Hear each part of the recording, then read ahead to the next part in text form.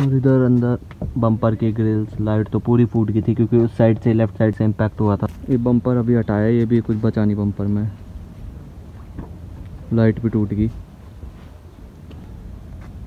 तो guys thumbnail में आप सभी को देख के पता ही लग गया होगा जो डिज़ायर का है एक्सीडेंट हो चुका है, वो भी इस लेवल का कि देख के लग रहा है। उस पर पक्का चोट लगी होगी किसी को।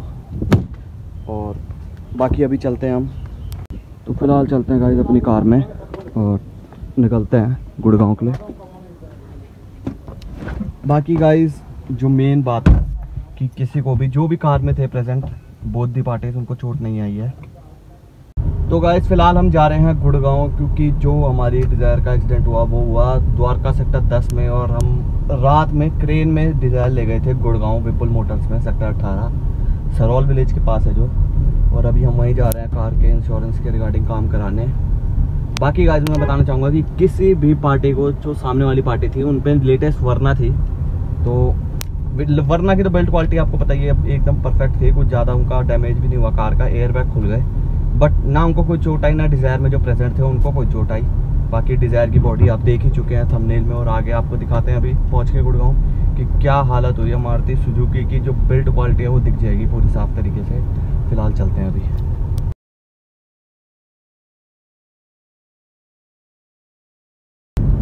फ़िलहाल जा रहे हैं गुड़गांव की तरफ़ और ट्राई यही करेंगे कि भाई के आगे आज ब्लॉगिंग नहीं करेंगे, क्योंकि जो उसका मूड है, अब जिसकी गाड़ी होती है भाई, उसे ऑफकोर्स दुख होता है। तो उसका मूड वैसे ही रो रहा है बेचारा। स्टूडेंट ही है स्टूडेंट ही हम सारे, और स्टूडेंट पर गाड़ी लग जाए तो बहुत बड़ी वो होती है। क्या उसके फादर ने कह दिया कि कोई टेंशन लेने की ज़रूरत नहीं है बट फिर भी तो ब्लॉगिंग हम ट्राई करेंगे कि कार में गुड़गांव जाते हुए नहीं करें, क्योंकि उसे अच्छा नहीं लगेगा। वैसे उससे मैंने पूछ लिया है बट फिर भी बाकी अभी उसे पिक करते हैं, गुड़गांव लेके चलते हैं। बाकी ये रेड लाइट ने खा दिया, मुझे लेफ़्ट टर्न लेना है, जगह छोड़ दो। तो चलो गाइज़ बने रहिए, आपको आगे दिखाते हैं कार गुड़गांव पहुँच के। तो गाइज़ फाइनली आ चुके हैं जहाँ हमारी कार पार्क है और आपको कार दिखाते हैं। तो देखिए भाई, कार।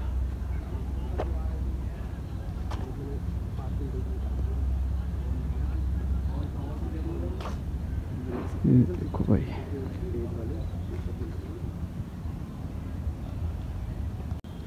तो भाई आए हैं सेक्टर अठारह, देखो गाड़ी की हालत। पूरी फ्रंट से डैमेज है भाई कार ये बम्पर अभी हटाया ये भी कुछ बचा नहीं बम्पर में। लाइट भी टूट गई। ये देखो भाई फेंडर पूरा मुड़ गया और रेडिएटर में जाके बजा सीधा। इंजन तक इम्पैक्ट नहीं पहुँचा। ये जो चीज़ है, इंजन तक पहुँच जाती भाई, पर बच गए कोई अगर गाड़ी देख के तो बोल नहीं पाएगा कि चोट ना लगी हो। बस दोनों पार्टी को कोई चोट नहीं आई है भाई। लाइट फूट गई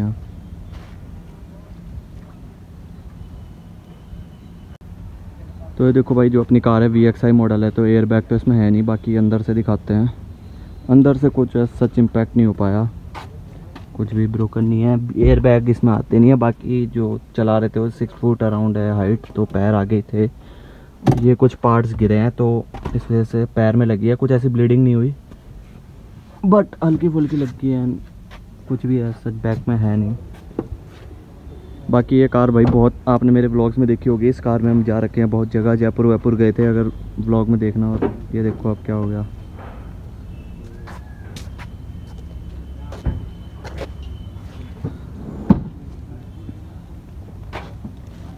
टायर तक तो नहीं पहुँचा भाई इम्पैक्ट तो टायर बच गए लाइट्स गई। बाकी बैटरी वैटरी तक, अंदर तक, इस चीज़ ने बता दिया, लोहा जो बेसिकली सेफ्टी का होता है इंजन देख लो आप जस्ट इंच से बचा है। थोड़ा और अगर स्पीड में होता तो फिर तो इंजन पे इम्पैक्ट था। और बोनट गया। तो कार जो थी गाइस यू टर्न पे जैसे ऐसे टर्न मार रहे थे तो इस साइड से फ्रंट वाली कार लगी। इस साइड से। तो गई मेन बात जो है, दोनों पार्टीज़ में से जो सामने वरना कार्तिक किसी को भी कोई तरीके की चोट नहीं आई। वरना का तो जबकि बहुत हल्का सा नुकसान हुआ है, ये अलग बात है कि भाई के एयर बैग खुल गए थे।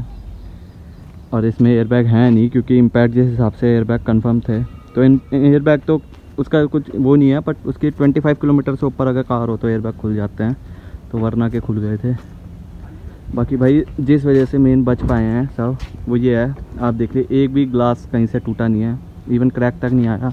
क्योंकि ग्लास जब टूट जाता है तब दिक्कत हो सकती है भाई बॉडी में।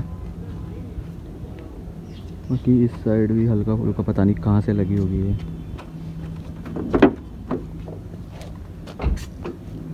बोनट खोल? सीधा फ्रंट पे लगी है कार का कोलिजन जो हुआ है फ्रंट पे हुआ है तो साइड में भी कुछ कुछ नुकसान नहीं है। और कूलेंट गिर गया सब गिर गया गाड़ी का। मतलब चलने लायक तो बची नहीं थी क्रेन से टो करवाई फिर ये रात ये देखिए भाई रेडिएटर किस दंग में मुड़ गया। है पूरा रेडिएटर अंदर तक गया।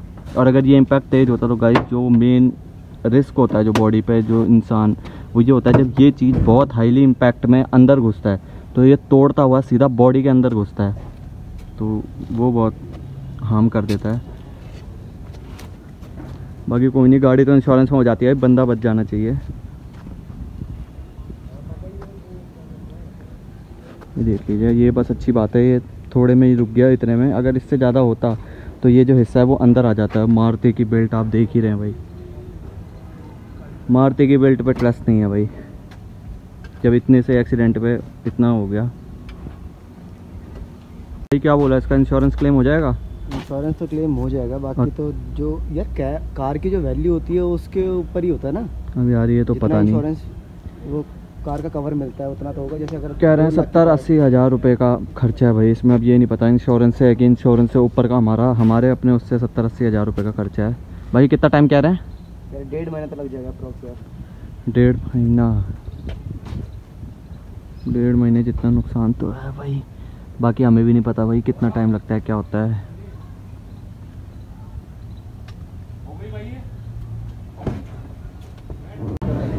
तो भाई वहाँ गाड़ी देखने के बाद अपने अभी ना भाई आए हैं यहाँ एक्टिवा लेने। एक्टिवा सिलेक्ट करके आते हैं। भाई ना वाइट लाइट ना दे तो ये भाई ने ले ली एक्टिवा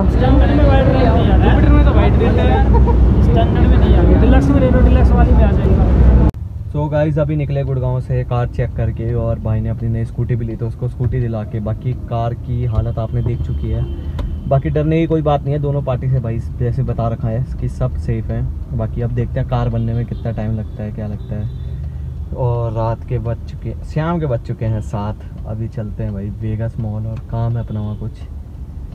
कुर्ता लेना है तो अभी वहाँ चलते हैं। बाकी कैरी करते हैं ब्लॉग तो लोग आए इस द्वारका में घुसते ही दिवाली देखो। सारे गुड़गांव से जॉब करके वापस आ रहे हैं, क्योंकि द्वारका है अपना रेजिडेंशियल एरिया गुड़गांव है अपना जॉब वाला एरिया हम भी वहीं से जा रहे हैं हम हम भी गुड़गांव से ही आ रहे हैं सभी को पता है।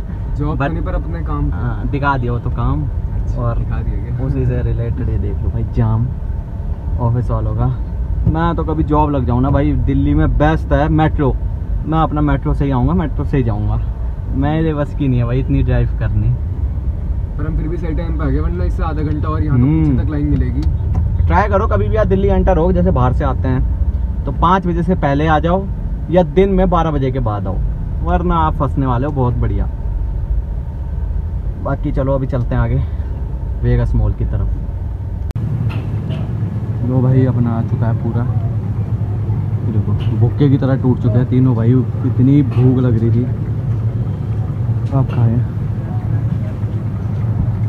Hey guys good morning and hope आप सब लोग बहुत ही बढ़िया होंगे और हम आ चुके हैं अपने अगले दिन में और ये भैया रोड जाम करके क्यों खड़े हैं? तो गाइज़ हम अब जा रहे हैं वेगस मॉल जो कि था एंड में रह गया था हमारा काम उस दिन। एक्चुअली क्या हुआ, हम इतने ज़्यादा थक गए थे एग्जस्ट हो गए थे। और उसके बाद मेन एग्जस्ट था वो जब हमने वो स्नैक्स खाए चाउमीन और उसके बाद जब पीली पेप्सी तो उसके बाद ऐसा मन हुआ कि भैया, बस घर चलो, सोना है। मैंने कहा, कोई नहीं मॉल कल चल लेंगे। कुछ नहीं है, दीदी की शादी आ रही है तो उसके लिए कराया है कुर्ता पजामा, बस वही लेके आना है। और फिर ये ब्लॉग कर देंगे अपलोड ख़त्म करके। तो बाकी अभी चलते हैं वेगस मॉल घर के पास में ही है। चलो।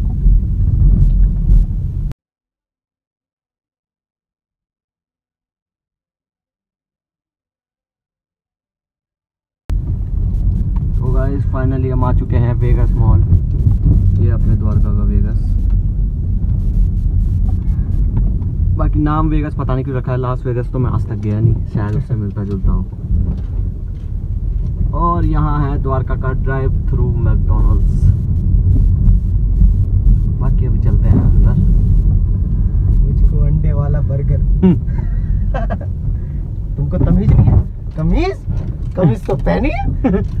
कहाँ का सुनता हो? कहाँ? ओ कराची। पाकिस्तान। अलग ही है। हेलो अंकल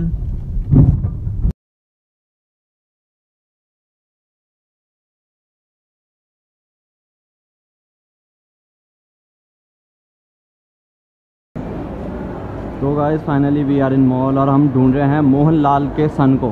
मतलब मोहनलाल सन्स की दुकान है। शॉप है सॉरी दुकान बोल के कहीं वो मुझे निकाल दे। उनका शोरूम है भाई वेगस मॉल में। जब मीना बाज़ार हो सकता है मीना बाज़ार। तो वो भी बोलेंगे वेगस में एक लाख रुपए हम किराया दे रहे हैं तो दुकान कह रहा? है तो सॉरी मोहनलाल जी और उनके बेटे। कहाँ होंगी उनकी दुकान?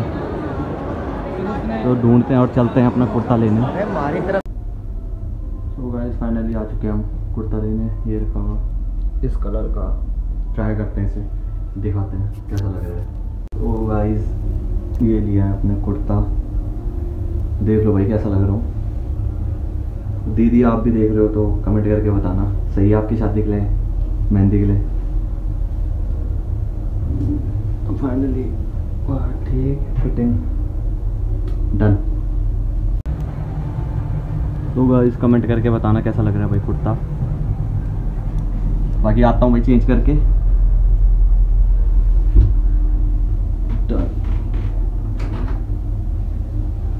तो गाइस वीडियो कर दो लाइक सब्सक्राइब एंड शेयर सब में तो गाइस फाइनली कुर्ता अपना रेडी लेके निकल चुके हैं। ये अपने घर लगा ले एयर प्योरीफायर तो अब देखते हैं शॉपिंग तो और कुछ करनी नहीं है। बाकी अभी चलते हैं नीचे गाड़ी की तरफ़। ये वेगस ने खोला था एक फाउंटेन थोड़ी लुक बढ़ाने के लिए मॉल की, और बच्चों ने बना दिया ये वाटर पार्क क्योंकि आपको पता है। क्योंकि हम, मैंने पहले पहले ही बता दिया था कि हम नहीं रखेंगे इतना बढ़िया भाई के आगे ब्लॉगिंग करेंगे नहीं, जिसकी गाड़ी थी। क्योंकि उसको खुद अच्छा नहीं लग रहा था, बेचारा रोज आ रहा था। तो इस वजह से ऐड करने पड़े इस पर बाकी भी। तो बाकी अगर वीडियो पसंद आई है तो लाइक करें शेयर करें सब्सक्राइब करें और अमेजिंग वीडियोस और आती रहेंगी। तो गाइस प्रेस कर दीजिए सब्सक्राइब बटन और मिलते हैं नेक्स्ट व्लॉग पे। और बाकी भाई, अपने ऑडियंस के लिए अब चलना पड़ेगा कहीं मनाली बनाली लॉन्ग ट्रिप पे। हुआ नहीं बहुत टाइम से। बिल्कुल। तो वहाँ भी जाएँगे भाई तो चैनल कर दो सब्सक्राइब और निकलेंगे सारे साथ में।